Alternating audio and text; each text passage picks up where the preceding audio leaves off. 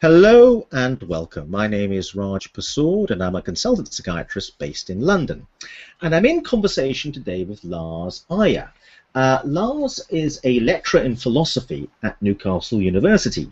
He's the author of several novels. Uh, the first three are Spurious, Dogma, and Exodus, all of which have been critically acclaimed. And I'm delighted to be talking to Lars today about his latest novel, which is entitled Wittgenstein Jr. I want to start by asking you, Lars, you're, you've become famous um, for these novels that you're, you're writing and um, which are being nominated for prizes and are, and are critically acclaimed. Um, you, are clearly interested in the idea of telling a story because you're writing novels, but it's a slightly unusual thing to do for an academic philosopher. And many academics look down on the notion of storytelling, fiction, novels, films, as a way of communicating an academic discipline. So, so why are you doing this? Why are you telling stories or writing novels? And, and is it a way uh, of communicating something about your academic discipline that you think couldn't be communicated in any other way? I think uh, the, the, the, topic of my of my fiction is of the way in which order breaks down into chaos. the attempt to be rigorous and clear can fall apart into a into a kind of madness. Now, this is not something which I necessarily want to write a sober and detached uh, work of philosophy about this is something I think uh, best staged in a novel. And are you interested in storytelling? Do you consume stories yourself? I suppose um, I'm interested in storytelling. I'm interested in stories which run up against something which cannot be easily narrated. And is there a tradition in philosophy of this? Again, I, am I'm, I'm woefully lacking in my knowledge of philosophy, but I seem to remember Jean-Paul Sartre writing a novel called Nausea. I can't remember many other examples of, of, of established philosophers using story as a form of communicating something to do with philosophy. Well, going right back to uh, Plato, you know, uh, Socrates, Socrates we meet in Plato's dialogues is very much a fictional character. And um, Plato's dialogues, in which, he, in which Socrates plays a role as a character, those dialogues are very much um, fiction stories. And do you think it's a neglected form amongst academic philosoph- philosophers that they should be embracing the story form a bit more than they do? It's something which can certainly communicate to a larger audience, and philosophers over the over the centuries have returned to story forms. And many philosophers have tried to write uh, dialogues in which you have uh, fictional personae. Now, one of the central characters in this book, Wittgenstein Jr., is a is a, a, Cambridge Don, who I have to say, reading the novel as a psychiatrist, wearing my psychiatrist hat, seems at various levels to be insane, um, or is going insane. Um, and I think he himself worries about his mental health, and certainly his students are worrying about his mental health, it seems from the novel. Is there a link between insanity and, and, and philosophy? Are, are many philosophers thought to have been driven insane by very deep thinking, or were they a bit insane in the first place to take up philosophy? The kinds of questions that philosophers posed themselves um, are the kinds of questions which can, if you obsess over them, um, tip you over the edge. But it's likely that those philosophers who asked those questions were already um, mentally disturbed to some degree in the first place. And the real Wittgenstein, the, the, the philosopher who was born in 1889, died, died in 1952, uh, the real the real Wittgenstein feared madness um, tremendously. He said, um, if in life we are surrounded by death, so too in the health of our intellect we are surrounded by madness. So the real Wittgenstein was terribly afraid of madness, and so too is, uh, is, is, the Wittgenstein of my novel, um, Wittgenstein Jr., who's a philosopher working in the Cambridge of the present. Is there any other link between the real Wittgenstein and your novel? Are you trying to say something about the real Wittgenstein's philosophy in this novel? Well, I think there, there's, there's, an overlap between the uh, the real Wittgenstein and, and, my character Wittgenstein Jr. Uh, both are from a, um, a German-speaking country. Uh, both are from families who converted to Judaism. Uh, sorry, converted from Judaism to Catholicism. Uh, both are, are philosophers with a strong interest in logic. Uh, both worked at Cambridge University, both very, very suspicious of, of academics and of the university um, scene. And like real Wittgenstein, my character is homosexual, but he's ambivalent about romantic relationships. Um, so there's a real overlap in terms of character and in terms of the intensity and focus which they brought to philosophy. I mean, both of them are possessed of this tremendous sense of, um, of vocation and both of them measure themselves very severely by what they perceive to be their failure um, in, in the field of philosophy. The other sense I get is that this character and many of the characters in your in your novel seem somewhat isolated. There seems a link between being a philosopher and being isolated, either isolated from your colleagues or isolated from the world in general, or a sense of alienation from the world.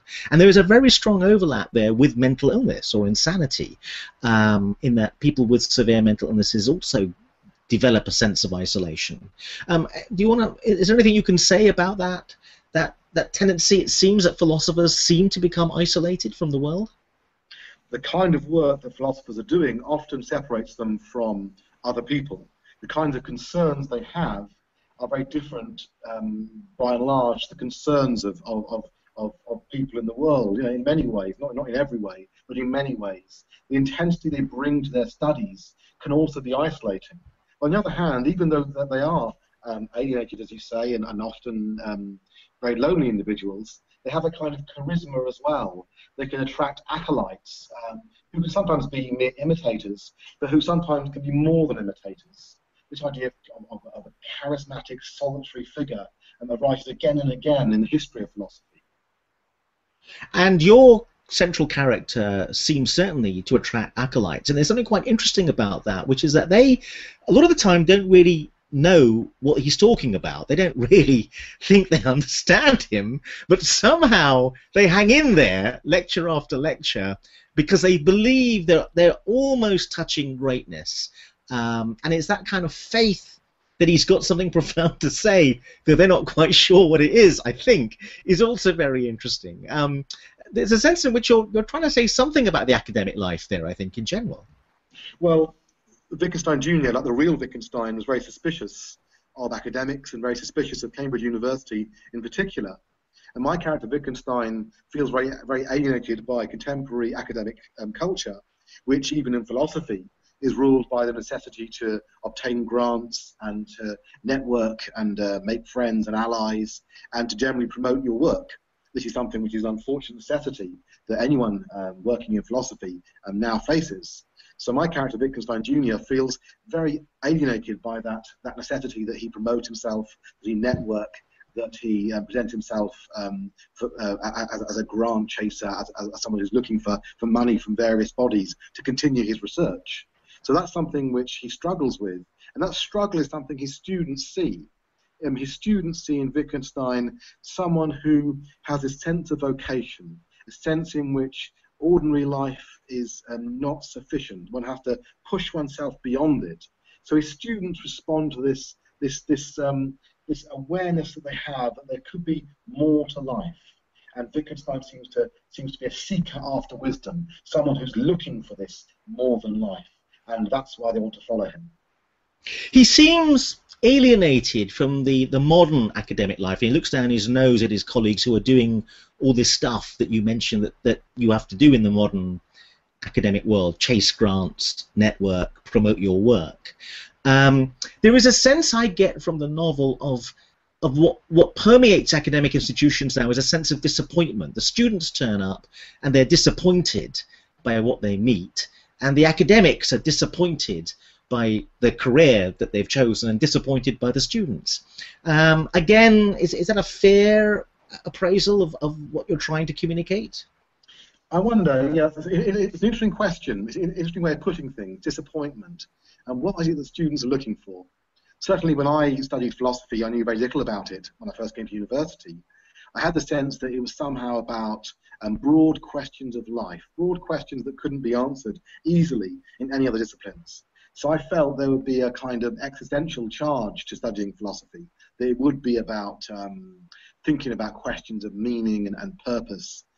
When I studied philosophy, I, I, I many fascinating things. You know, it's, it's, a wonderful subject to study, but I, I didn't really feel that existential charge, that sense of um, involvement in, in these larger questions. Um, I wonder whether uh, older Greek models of philosophy, where you might apprentice, apprentice yourself to a particular thinker for, for a long period, but those models of, of teaching and learning uh, might promote um, um, uh, more this sense of philosophy is about wisdom, about lived wisdom, about uh, a general sense of, um, of, of, of, seeking, of looking for something. And that's, that's what I, I may well be lacking um, in, in contemporary academia. I thought, and again, I, am a bit worried that I'm really going to put my foot in it here. I thought there were two distinct traditions in philosophy. There was a tradition of of what is truth, what is real, what exists, which is kind of slightly dry and analytic.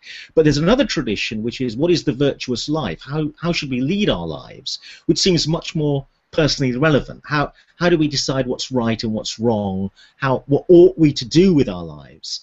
Um, which seems terrifically person, uh, personally relevant. But, but maybe I think, again, I, am really worried I'm putting my foot in it here, it seems more representative of, of, of not the sort of English American analytic schools of philosophy, but more continental philosophy. But I, I wonder if you could say something about that.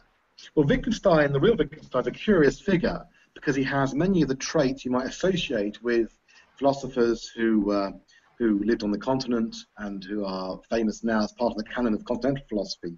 The real Wittgenstein has many of those traits, but on the other hand, he belongs quite firmly in the tradition of, of Anglo-American um, philosophy. Um, I, I, was telling you a little bit about my own background um, as, a, as an undergraduate student, and I, I was schooled in analytic philosophy, um, American Anglo-American philosophy, and my frustration was that we didn't really seem to uh, focus on philosophy as a way of living, as a way of um, of being, um, as philosophy as a kind of um, incarnate lived wisdom, and that's something which sent me actually to the to the European thinkers, to the continental thinkers. Um, that's why um, I um, eventually ended up writing about these figures as an academic.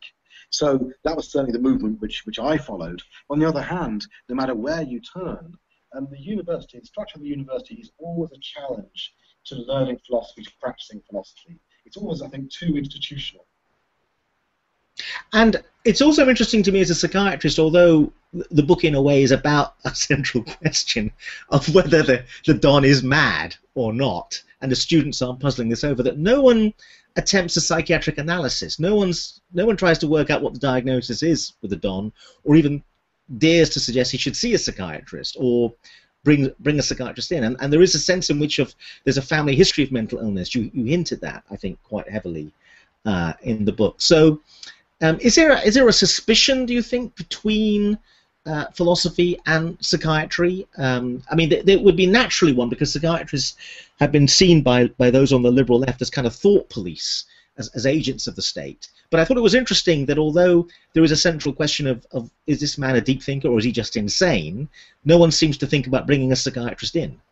That's right. Um, it's interesting that, isn't it? So the students who admire um, Wittgenstein Jr., these students um, regard him very highly. They, they, they, they come to venerate him. They're, they're, they're initially, but they come to venerate him. And in some sense, that they, they would be disturbed by any attempt to contextualize his mental abilities, his mental faculties, by any attempt to explain um, where it is he got his sense of vocation from. They value him, value him as a philosopher, and the value they place on him, I think, is something they would feel is demystified by uh, trying to understand his life um, from a psychiatric perspective.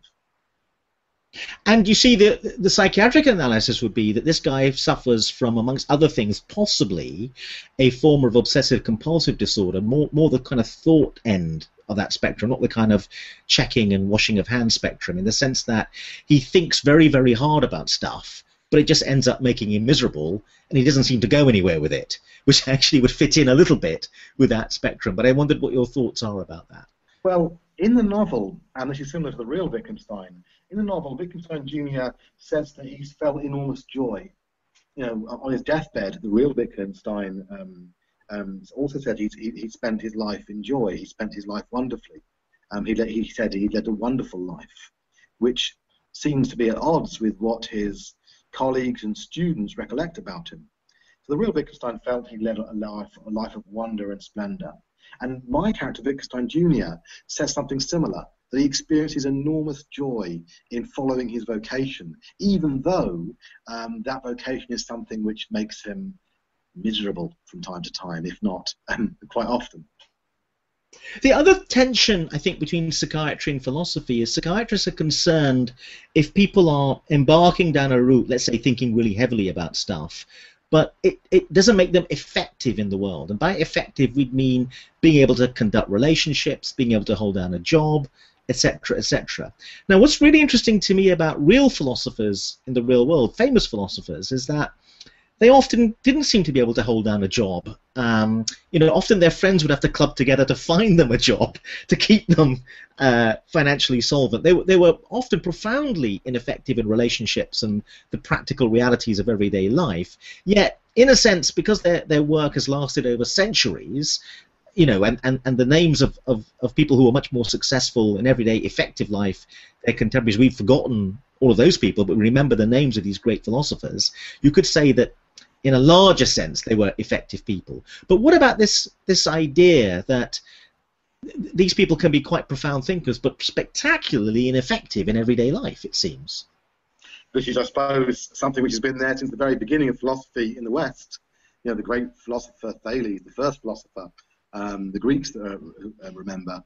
Uh, he was looking up at the stars, very famously looking up at the stars, walking along one night, and he fell down a pit, and, and the women around him laughed. They laughed at him for falling down the pit because he's looking up at the stars. He was speculating, he was thinking, he was dreaming. Philosophy questions are the kind you can only ask, I think, if you're detached in some way from ordinary concerns. If you're detached from ordinary concerns by, by dint of being, I don't know, having a bit of money, having a bit of income, having a, a particular kind of academic post, certainly. But if you're detached from ordinary concerns by being a little odd, by being a rather peculiar person, by feeling a thirst for meaning, by wanting um, to understand the world such that your own um, sense of order, uh, your own sense of, um, of purpose and meaning and goodness uh, is something which you can um, recover and hold on to and, and, uh, and, and, and, remain with. So, um, to conclude, you you, you enjoy writing stories and, and have found a way of using stories to communicate philosophy. And of course, at the heart of the dilemma over a story is the ending and the notion of a happy ending. And I, I suspect that philosophers would look down in disdain uh, at the notion that a story has to have a happy ending. Uh, in your novel, they go to watch the film Pretty Woman, which of course has a happy ending, and they discuss at some level. I don't, I don't want to spoil the story for, for, for any, any potential reader because it's, a wonderful novel. Um, um, what, what, are your thoughts about the notion of a happy ending? Because again, I'm nervous about about entering into territory where, where where I don't know enough. But Aristotle, I thought, fa- had a famous argument about happiness, which says the whole purpose of life is indeed happiness, because ultimately, whenever you ask people why do you do what you do, why does the politician pursue power, why does the rich man pursue money, why does the player pursue sex, whatever question they give you an answer to, you say this, but why do you pursue that? Why do you want that? You get into an infinite regress, which ends up with happiness because it will make me happy. So happiness becomes the ultimate end all the time of anything we ever try to do. So happiness actually is quite a profound pursuit. Um, so, what about this idea that the story um, for, for most for most people needs to have a happy ending? Would would philosophers be antagonistic to that? Well, I guess it comes back to the uh, the, the, point about um, Wittgenstein, the real Wittgenstein, on his deathbed, saying that he'd had a wonderful life. Um, what a philosopher regards as, as wonderful or, or, or, what would make him or her happy might not be uh, what we'd what we'd ordinarily associate with happiness or, or with or something being wonderful. My character Wittgenstein Jr. insists on his joy, and even though his joy might take him to the verge of of, of chaos, of insanity, of these terrible emotional states, I think he'd feel that joy was something worthwhile, something worth pursuing. So philosophy accommodates the notion of, of thinking very hard about stuff, even if it leads to ineffectiveness in the world. Is there something useful about philosophy in tolerating the more eccentric amongst us, in tolerating people who aren't necessarily particularly effective, but just have got really wrapped up in a life of the mind? It depends what we mean by effective. I think something you brought up earlier was that we remember these uh, great philosophers from early from earlier eras, and these people often in their lives were not particularly efficacious. They they couldn't get much done. They found it very difficult to hold down a job. Often they were very unwell mentally or, physically. But these individuals, nevertheless, continue to inform our sense of who it is as human beings um, today. So, and this is something which we don't only find in, in academic circles um, philosophical ideas permeate culture at large. They spread out. They become popular and influential. Thank you very much indeed, Lars. And just to remind listeners that Lars Iyer uh, is the author of this wonderful new, newly published novel called Wittgenstein Jr., a novel, and it's published by Melville House at UK. Thank you very much indeed. Thank you. Thank you very much, Raj.